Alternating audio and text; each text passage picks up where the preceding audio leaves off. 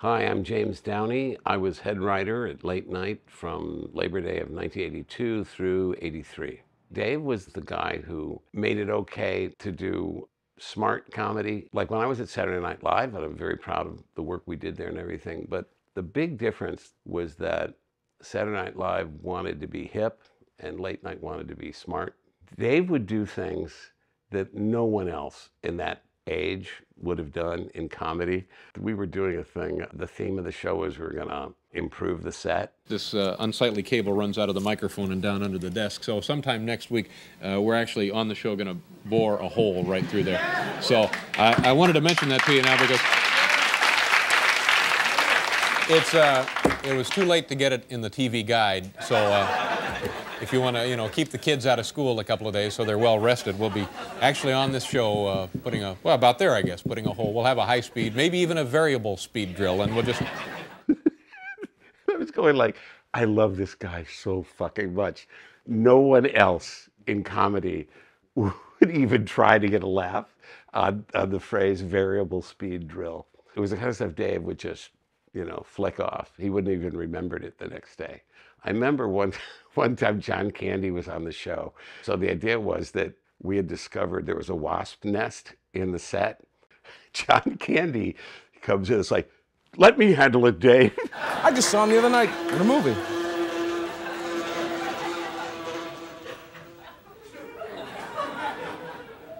David, look on the back of my neck Is there something crawling there? Yeah. Did it come from that nest? Well, it could have, yeah. It's a wasp. Yeah. Would you mind uh, kind of flicking it off? Just be very careful. Okay, that does it. That does it. And I'm gonna take care of this, David. All right, get a long broom and an acetylene torch. Right, but... John, you know, we could, uh, the, after the show, they can get it right out of there. Please, I'd like to just kind of warm them up there. There they are. That got him. That got him. That got him mad. That got him mad.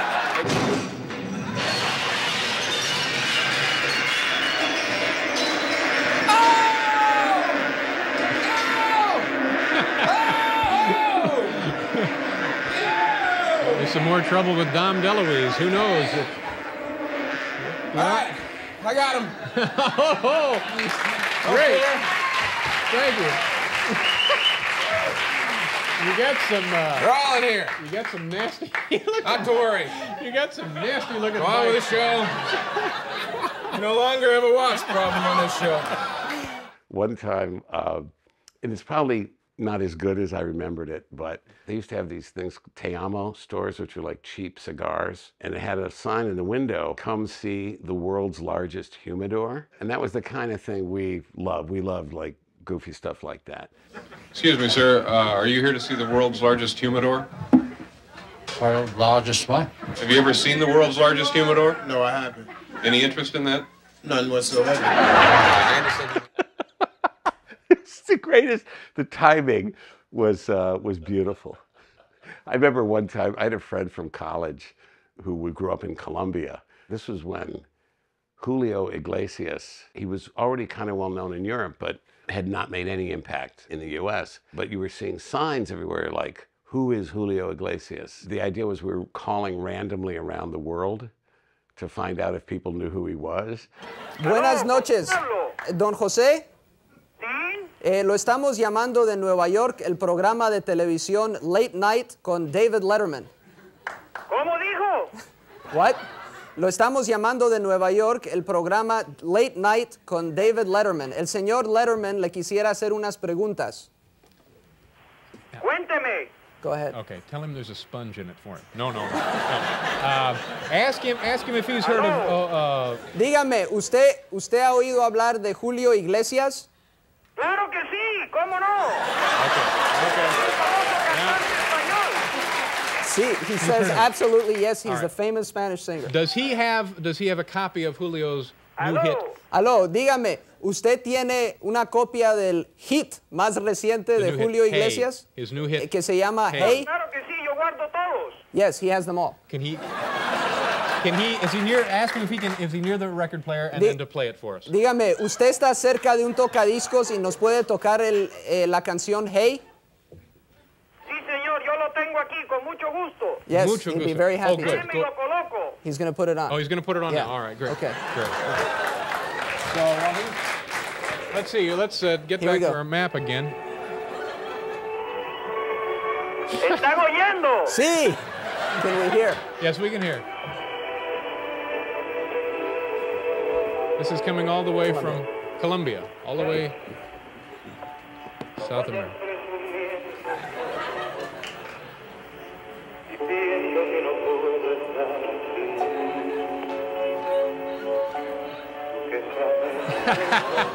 We did the Hall of Presidents one time.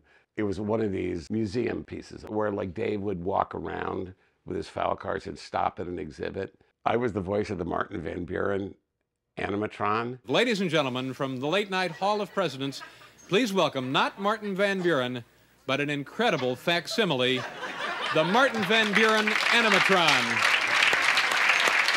Good evening, ladies and gentlemen. Don't be frightened. I am Martin Van Buren, the eighth President of the United States. May I remind you that there is to be no smoking or taking of pictures during this performance. Uh, Martin, you were the first president who was born in the United States uh, after the War of Independence, correct? That's right, David. I was born in 1782 in Kinderhook, New York. I see there are some folks here from Kinderhook. Thank you, David. But now I must be going. I must rejoin my friends in the Hall of Presidents. All right, here. Uh, excuse me, Mr. President, are you all right? Leave me alone. I'm fine. It's just my bad back acting up again. This is very unusual. I'll be all right. We liked also populating the show with like repeat characters. We had a Bob Rooney day. Not everyone in the crew was worked to, to the bone every day. They seemed to have a lot of breaks and leisure times. So the idea was, Bob, no, no, you're not lifting a finger today. This is Bob Rooney Day. Ladies and gentlemen, as you may or may not know, traditionally on Bob Rooney Day, we do what we can to grant this man three wishes. Anything this man desires, myself and the staff and the entire unit here at NBC will do anything we can to make them a reality. So at this time, Bob, I'd like to ask you whatever it is world travel, riches, jewelry, a home in the Bahamas give us now wish number one. Ladies and gentlemen, Bob Rooney's first wish.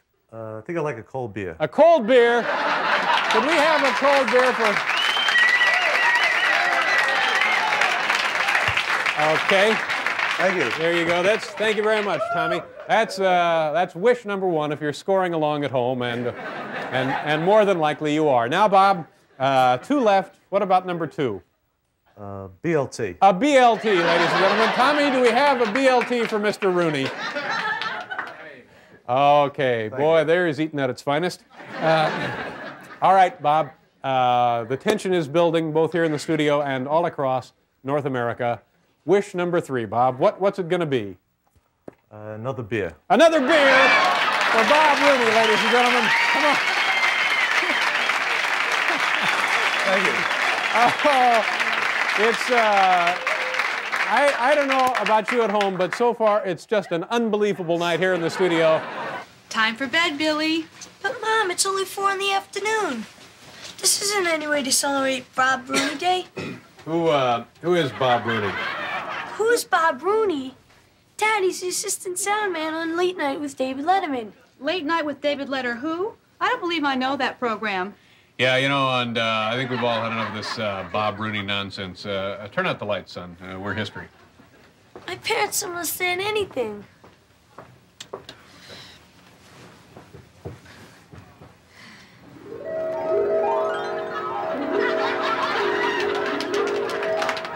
Hey, kid, you mind if I read the newspaper?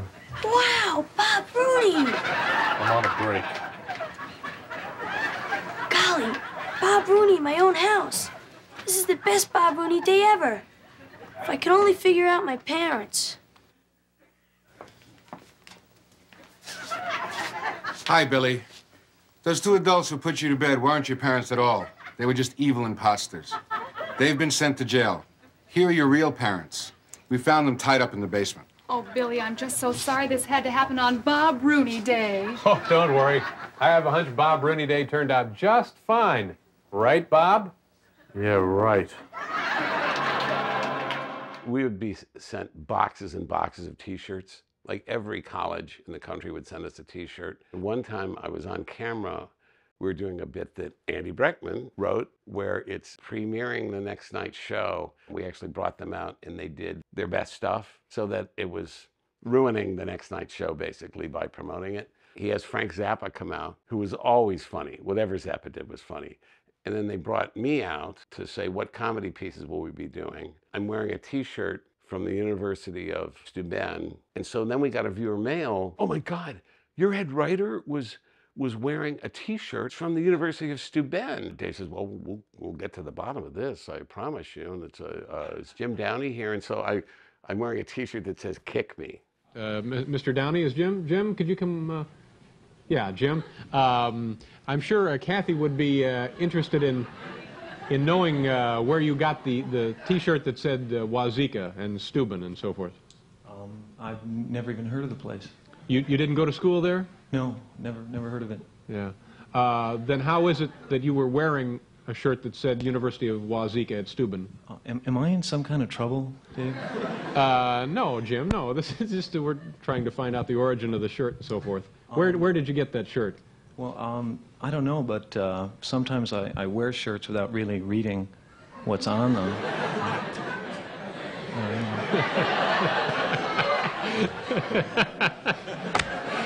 Okay, Jim. Thank you very much. Thank you.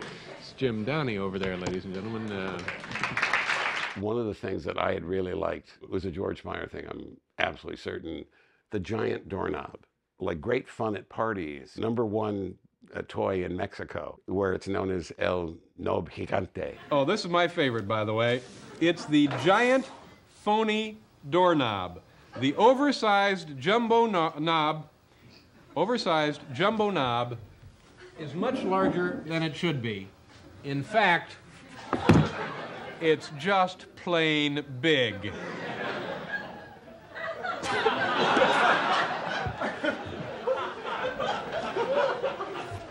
You just put this on your door, see? You yell, come on in. It's just plain big, all right? Giant, giant doorknob, and, it, and this is made of pewter, so it won't wear out as fast as the other giant doorknobs.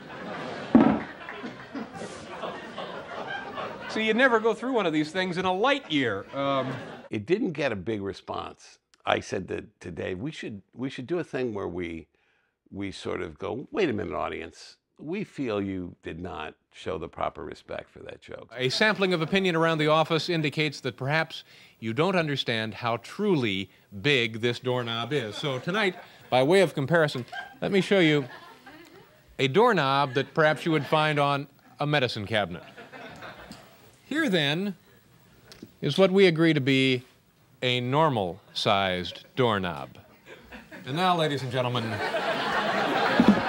the giant doorknob.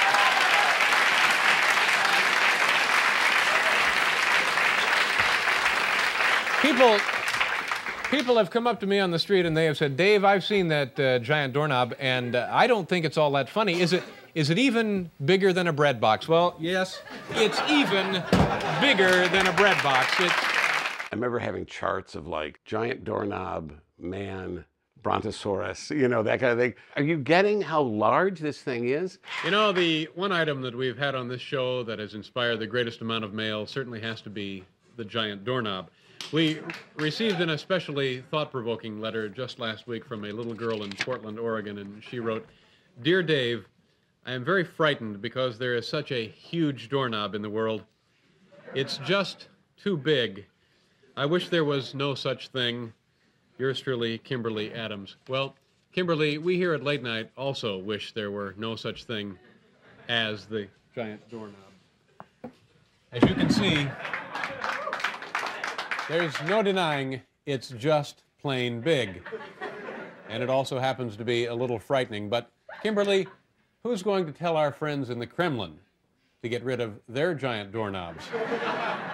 Take a look at this photograph taken by one of our high altitude surveillance satellites. Computer enhancement and expert analysis reveal that the Soviets have been developing and deploying their own giant doorknobs. Using methods that I am not at liberty to reveal at this time, the staff of Late Night has been able to get a hold of one of the new generation Soviet giant doorknobs called the SS 17.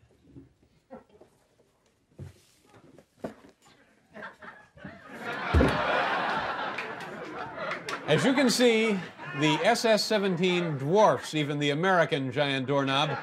And while it is obviously less sophisticated than our version, its sheer size makes it another dangerous step in the insane giant doorknob buildup.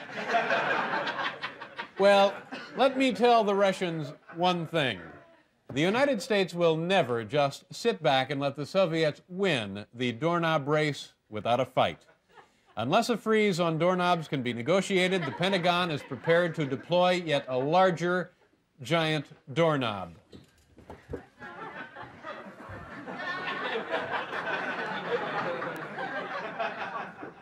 Thank you very much.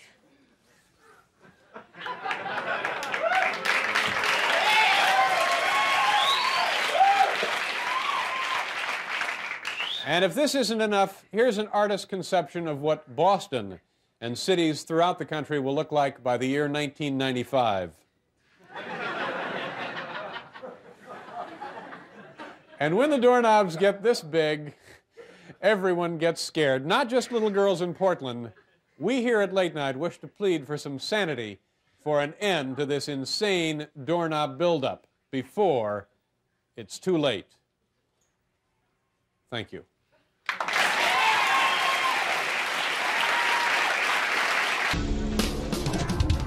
For a long time, the show was like embargoed, right? NBC went, they were punishing Dave for going to CBS by saying, then we won't let it, you know, because I inquired about, this was probably like 93, because I, maybe I, that's, I couldn't find the tape. And, and, and said, nope, nope, it's all, it's in New Jersey in a lead casket that with triple, you know, fireproof doors. No, no one has the key. I don't have the key. No one, you know, was like, okay, fuck you.